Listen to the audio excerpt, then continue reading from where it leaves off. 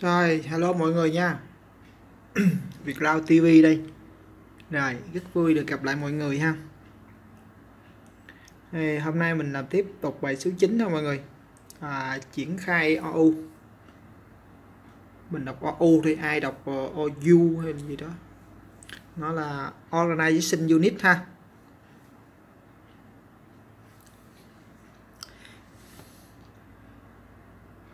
Thì à, bài thực hành này thì mình sẽ hướng dẫn mọi người cách à, tạo à, cấu trúc OU ha trong hệ thống à, Active Directory Domain ha. Thì à, nó có à, những à, cái à, ưu điểm như sau. Thứ nhất là thuận tiện quản lý các đối tượng user cao nè computer cao nè ha như group. Rồi cái số 2 là thuận tiện cho việc à, quỹ ủy quyền quản lý hệ thống AD rồi cái số uh, ưu điểm số 3 ha mọi người. Ẩn các đối tượng user account nè computer account nè group nè trong AD nè ha. Rồi cái thứ tư là thuận tiện cho việc uh, triển khai uh, group policy ha mọi người hay gọi là repo á.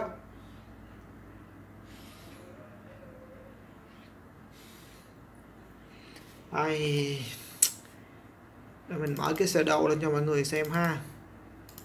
Bài số 9 rồi bài lát này mình sử dụng một máy à, uh, DC ha mọi người. À, 201 ha. Rồi một máy client nó là máy à, PC1 ha chấm 1 rồi mô hình chỉ sử dụng hai máy thôi ha. Máy DC1 và máy PC1 rồi tắt cái này luôn đi. Đó. Thì à, ô số 1 phần số 1 là mình sẽ làm à, hướng dẫn mọi người à, cách cài đặt. Remote ha. Remote server administration. Tool hay nó còn gọi là R SAT đó. Cài đặt Remote Server Administration Tool. Thì à, mặc định là cái công cụ quản lý admin thì này nó chỉ có trên máy DC thôi ha. Bây giờ mình muốn quản lý trên à, máy PC1 cũng có cái tool nữa thì mình phải cài vô ha. Mấy cái tool quản lý user như Active Directory User Computer rồi nè. Thì mặc định là trên Windows 10 thì nó không có sẵn ha. Thì bây giờ mình phải đi cài. Rồi bắt đầu bài lab ha mọi người. Rồi, ở đây mình sử dụng hai máy ha DC1 với lại BC1 ha. Rồi, mình tạt cái DC lên ha. Rồi, tạt đi cái BC1 luôn.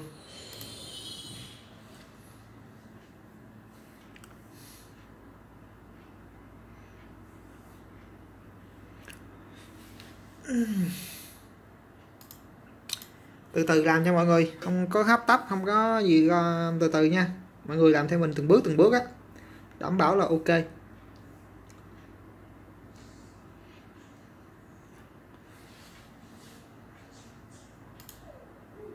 Đây DC lên ha.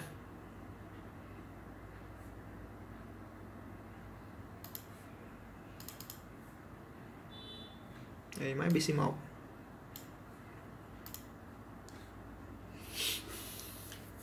rồi chờ cho nó bút lên cái ha còn DC thì nó bút hơi lâu một chút.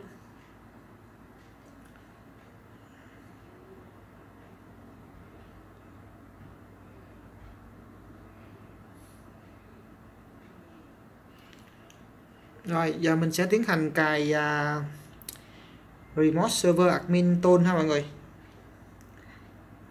Rồi mình đây là máy DC thì mặc định nó có sẵn rồi ha mình cài trên máy client. Đây, mình còn với à, domain admin ha.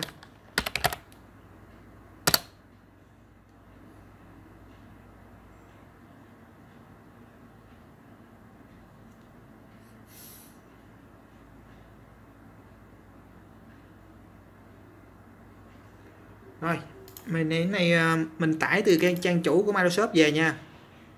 Chứ nó không có sẵn đâu.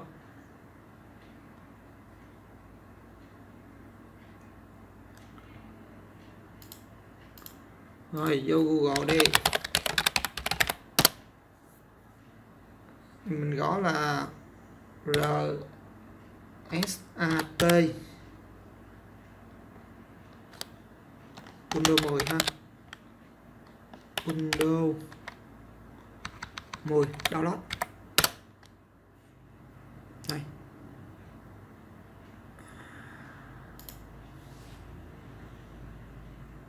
đó link đầu tiên ha mọi người? Nè ID là 45520 á. Rồi, mình select language là elite ha. Rồi, bấm đâu vậy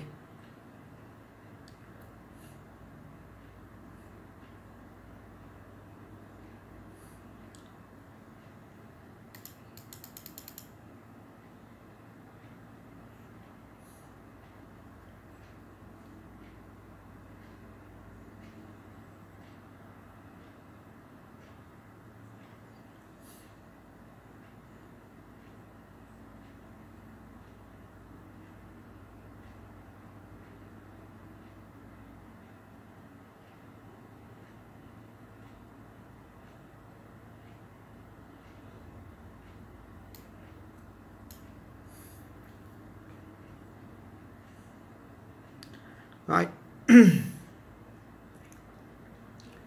Rồi mình đây mình chọn phiên bản à, tương ứng với máy mình ha. 1803 nha. 64 bit. Rồi ok next. Rồi mọi người chờ cho nó lên tải về cái ha. Rồi.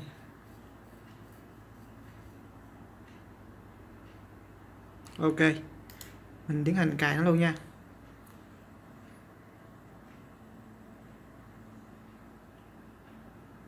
Rồi, nó kiểm tra, nó thấy máy mình à, cần cài một số cái bản à, update ha. Rồi, mình chọn Z luôn.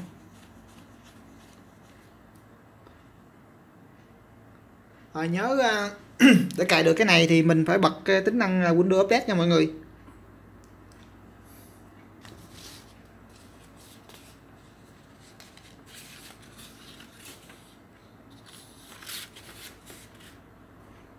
Rồi chúng ta chọn à, uh, accept ha.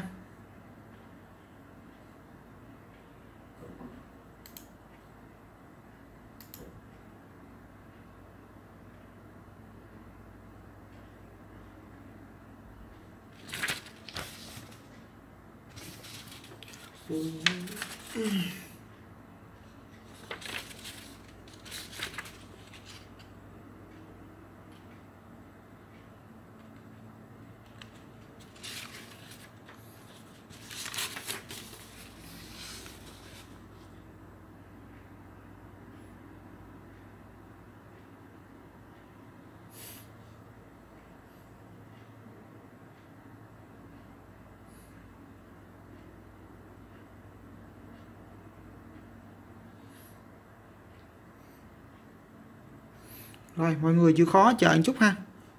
Thì mình cũng không có cài sẵn trước nữa. À, sẵn là mình cài mình hướng dẫn mọi người luôn á. Chứ mình cài trước rồi nhiều khi mọi người à, cài nó không đúng á. Mọi người chịu khó chờ tí ha.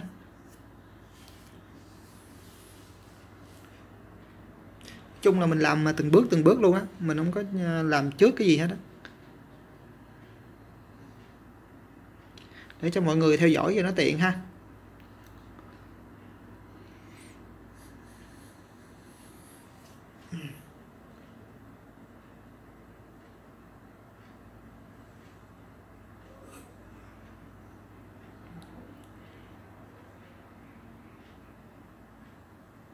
Rồi Inton complete thôi mọi người.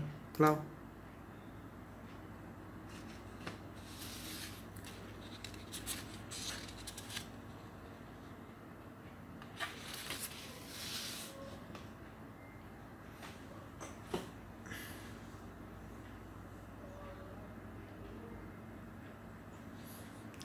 Rồi, mình đóng cái cửa sổ này luôn nha. Rồi, giờ mình kiểm tra coi nó có chưa ha. Admin tool.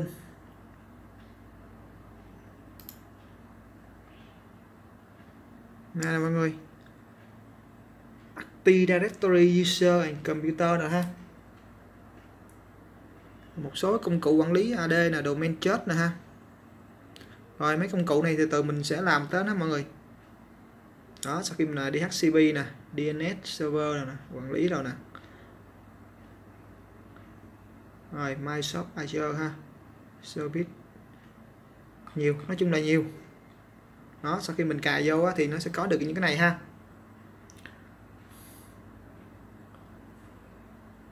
Rồi. Mình tiếp theo bước 2 à, à, số 2 ha mọi người. Tạo à, uh, OU và user account ha.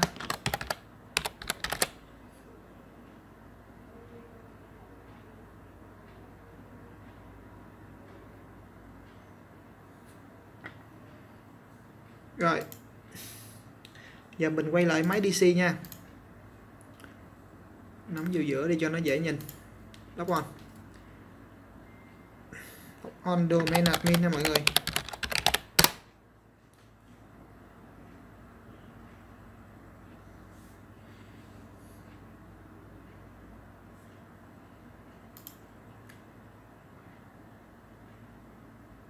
Rồi, ở đây mình vào tool directory user and computer. Rồi ở đây mình tạo cái OU nha. New. OU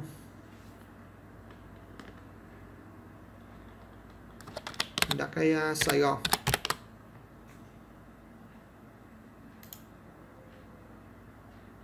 Ok. Uhm. Rồi tiếp theo mình tạo tiếp một cái OU Hà Nội ha. Công ty mình nó có hai à, văn phòng. Hà Nội.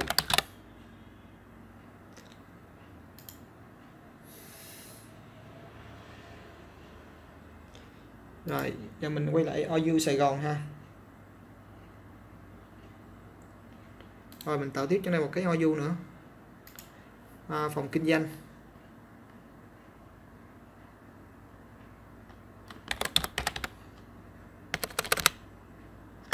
Viết khoa hết đi. Kinh doanh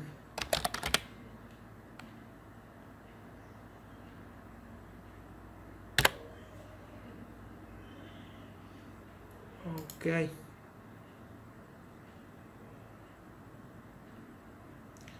Rồi, trong cái phòng kinh doanh này mình tạo hai user ha. Kinh doanh một và kinh doanh hai đi. User. Kinh doanh một. Em viết thường cho nó vậy. Kinh doanh một. Kinh doanh một. Bắt quật đơn giản, kinh doanh một luôn.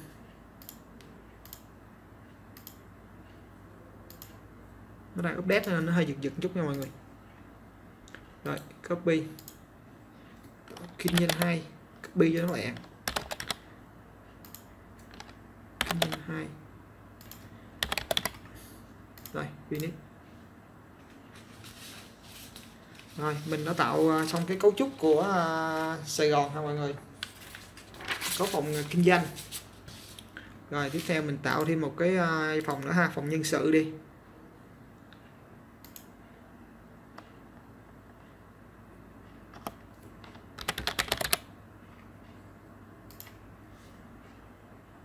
Rồi, mình cũng tương tự, mình cũng tạo hai cái user nhân sự một. Copy cho lẹ.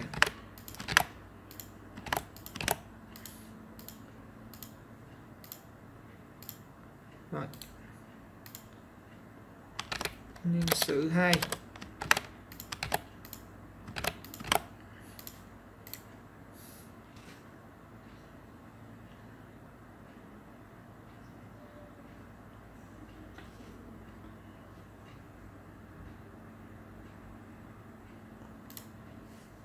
Rồi trong uh, văn phòng Sài Gòn ha mình có uh, hai phòng phòng kinh doanh và phòng nhân sự.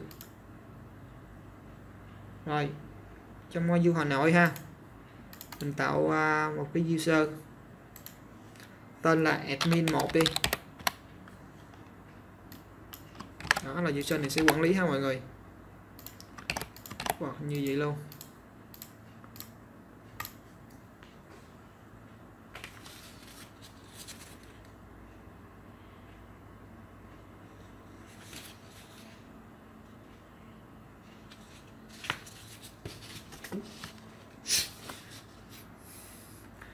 Rồi, như là mình đã tạo xong à, uh, OU ha và user account ha mọi người. Giờ đến bước 3. Tiếp tục mình sẽ ủy quyền. Ủy quyền quản lý O delegate control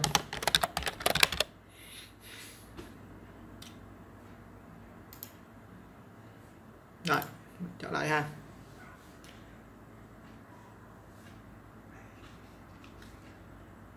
Đây, mình sẽ qua ủy quyền cho user admin một ha, quản lý ha mọi người. Phải chuột vô Hà Nội nè. Phải chuột vô du Hà Nội ha. Chọn delegate control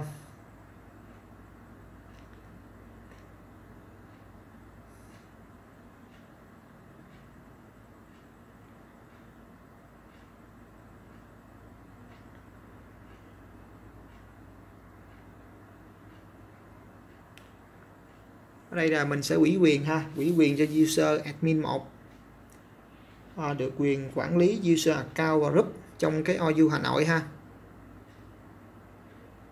Giờ mình sẽ ủy quyền nè. Ok chọn next.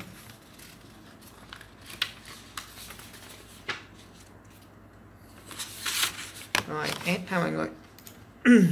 Admin 1 đó, mình sẽ ủy quyền cho cái à, anh admin 1 này ha. Có quyền tạo user và group trong cái uh, OU Hà Nội ha. Check name. Ok. Next. Có quyền tạo và delete nè. Account nè. Tạo và delete group nè. Thậm chí là cho ảnh thêm cái quyền reset password luôn rồi, next ha. Phoenix.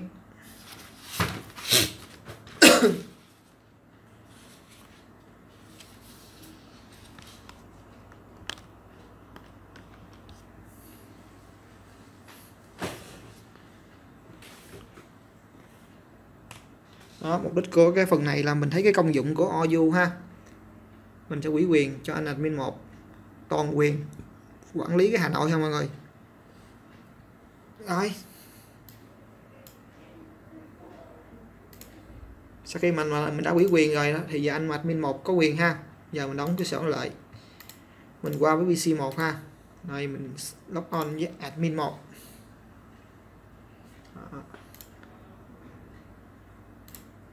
đây, admin 1 ha mọi người.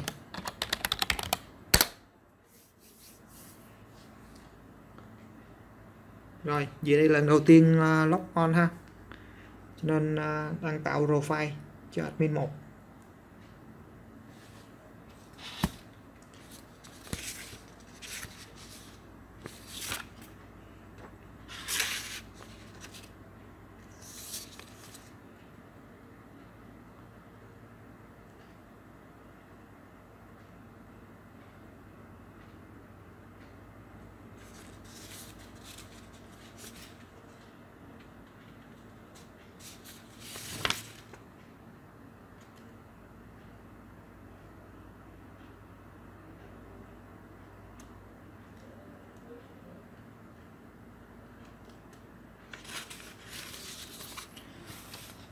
rồi.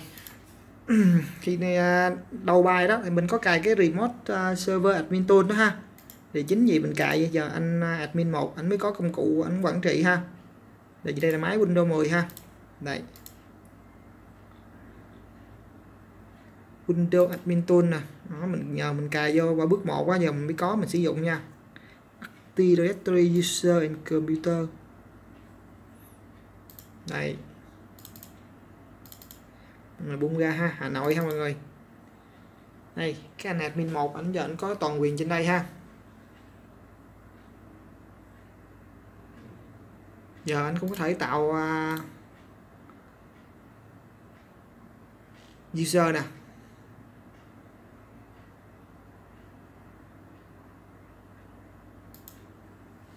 Đó ví dụ này một user uh, U1 ha đó.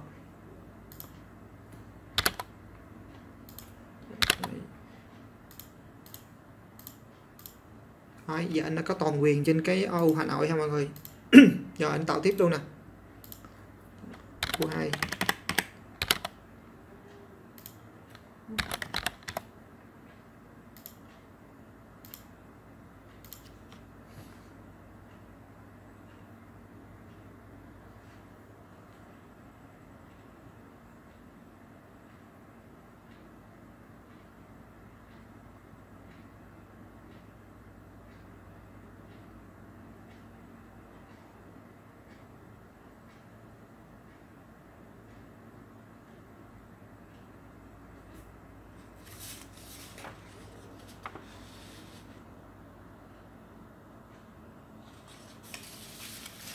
vậy tương tự ha.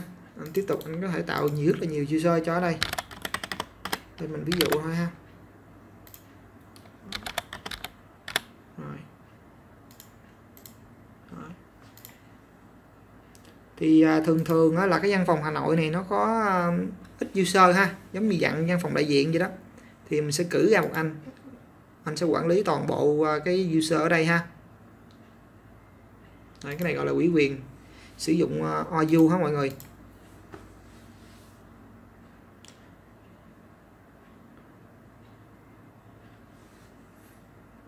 Đó rồi mình có thể tạo thêm một cái group nè. Rồi, gọi là group sale đi. Đó.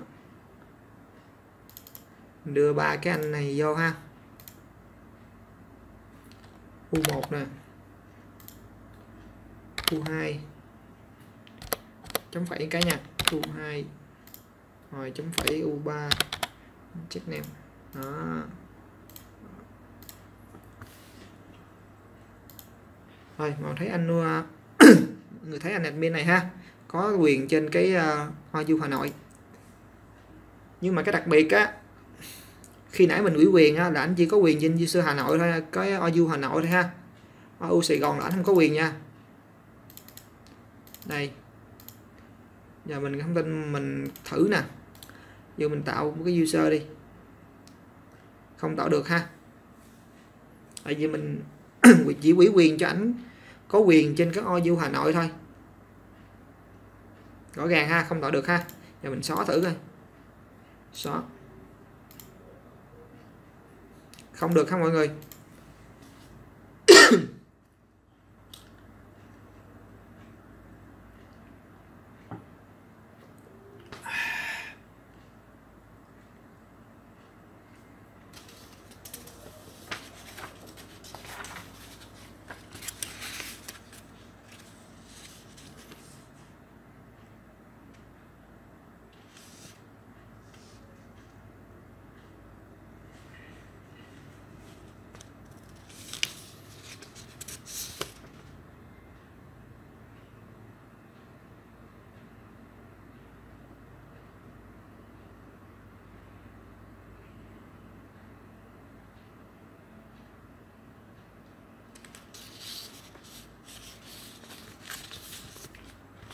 Rồi, tiếp theo ha. Một số 4.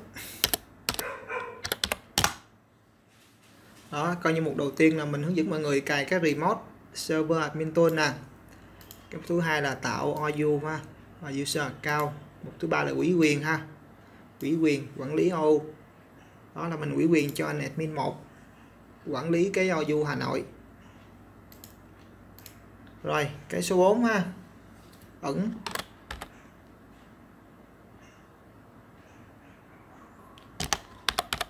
vẫn cái nho du Sài Gòn ha mọi người?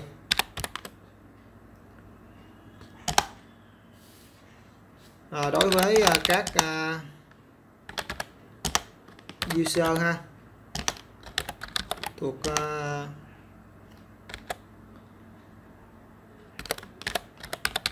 group sale. Đây nè mọi người thấy nè như anh admin một này nè ảnh uh, ở ngoài Hà, quản lý Hà Nội ha mà anh vẫn có thể thấy được trong Sài Gòn. Mình là admin ha mình muốn ẩn không cho ảnh thấy à, trong Sài Gòn ha. Ảnh chỉ có quyền thấy trong khu vực Hà Nội của ảnh thôi. Rồi hồi nãy mình đã à, tạo ba user ha add vô cái group sale ha. Mình quên add anh admin vô luôn. Admin 1 rồi để mình quản lý cho nó dễ mà. Đó. Đây, coi như group sale ha. Group này ở ngoài Hà Nội. Rồi. Ok ha.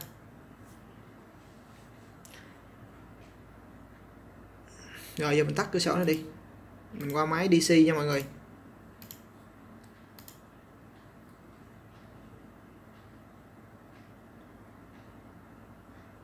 Rồi trong cửa sổ Active Directory User and Computer ha.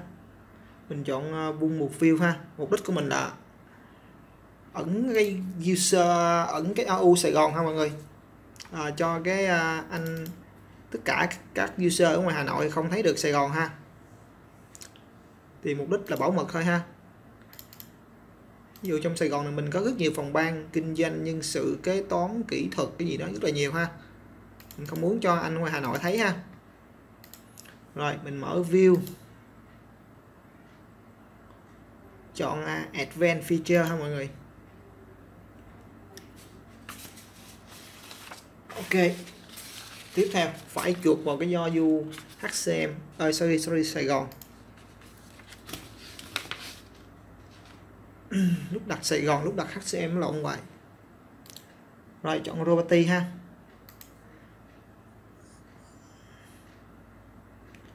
Qua tab security. Rồi, mình chọn S ha. Đây mục đích để mình đưa cái anh admin vô cái group sale là để cho nó tiện mình quản lý thôi ha. Sale. Không thôi, mình phải, bước này mình phải đưa ảnh riêng nữa. Hơi phiền. Rồi.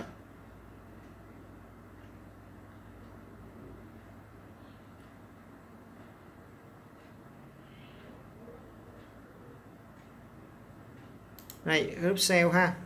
Cái group sale này là đại diện cho tất cả các user đó, ở ngoài Hà Nội ha. Đây cái quyền read read nè mọi người. Rồi ở đây mình deny cái quyền read ha.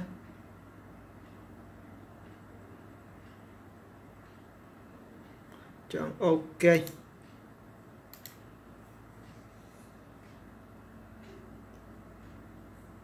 Rồi xong giờ qua cái máy à, uh, PC1 nè.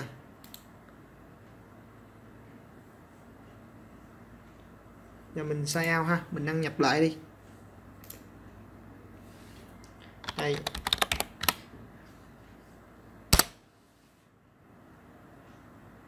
Khi nãy là anh admin 1 này anh thấy được cái à, OU của Sài Gòn ha mọi người? Rồi bây giờ mình kiểm tra ha sau khi mình ẩn ha. Anh có còn thấy không ha? Này user and computer này.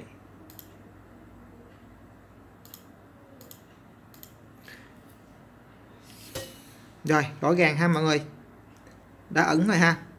Đó. Đây là hôm nay mình đã trình bày với mọi người cái phần về OU ha mọi người.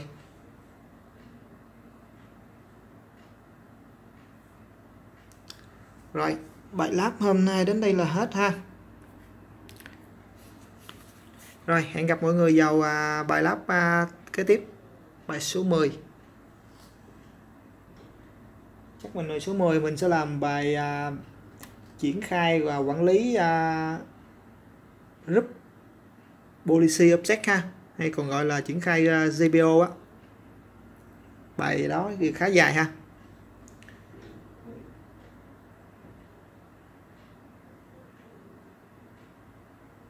Rồi, xin chào mọi người nha. Hẹn gặp lại mọi người vào à, bài lắp tiếp theo. Chào tạm biệt.